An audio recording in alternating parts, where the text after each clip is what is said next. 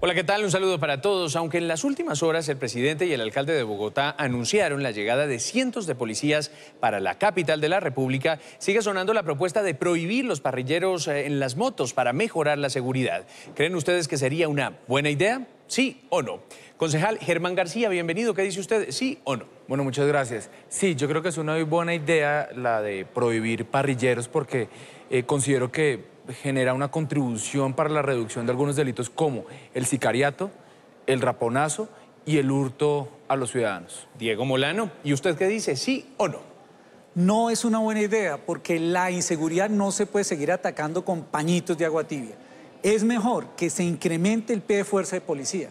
Es mejor que se haga inteligencia para desmantelar esas bandas que utilizan los parrilleros y afectan a las mujeres en Bogotá.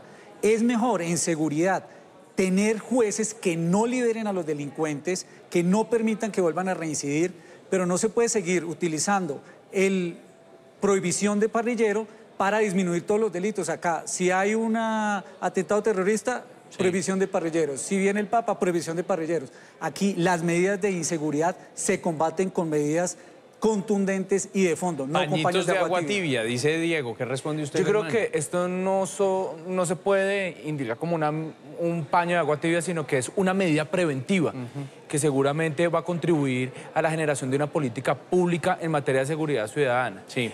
Más aún porque en lo corrido del año 2017 han sido cerca de 3.359 casos en donde se han visto involucrados eh, personas que se movilizan en motocicletas en el distrito Esa no es una cifra menor, ¿no? Claro, pero aquí lo que veo es un incremento en los hurtos y los hurtos se combaten con más presencia de pie de fuerza de policía, con más inteligencia, pero además no estigmatizando a más de 500 mil bogotanos que hoy tienen una moto, que el 70% de ellos lo utiliza para su trabajo y que por supuesto no son delincuentes. Ahora, estamos hablando de Bogotá. De fondo. Claro, estamos hablando de Bogotá, pero en otras ciudades del país se ha implementado en la Cartagena, en Barranquilla, en Ibagué, en Cali ¿Y, los resultados en Medellín. y se ha demostrado resultados favorables en cuanto a la implementación de esta medida que incluso en algunas de estas ciudades ha tenido carácter o vocación de permanencia.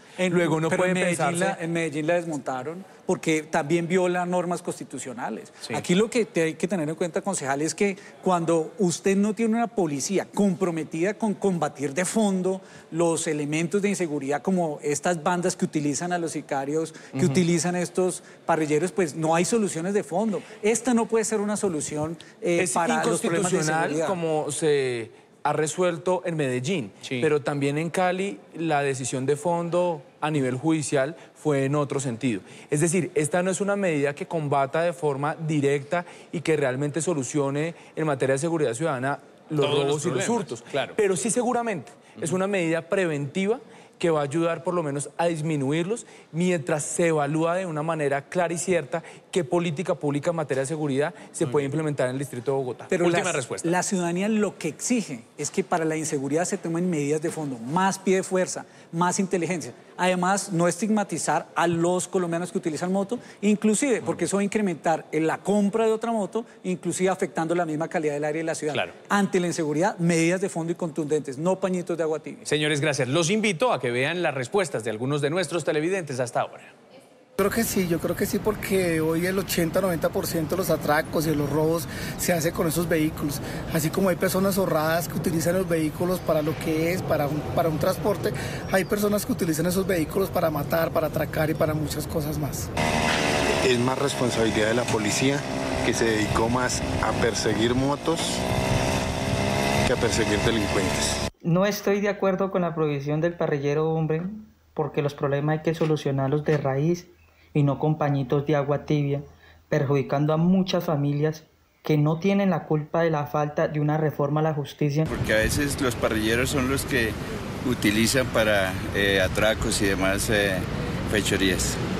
Y recuerde grabar su video respondiendo la pregunta del día y enviarlo al WhatsApp 321-485-2611 o arroba noticias RCN. ¿Sí o no? La respuesta la tiene usted.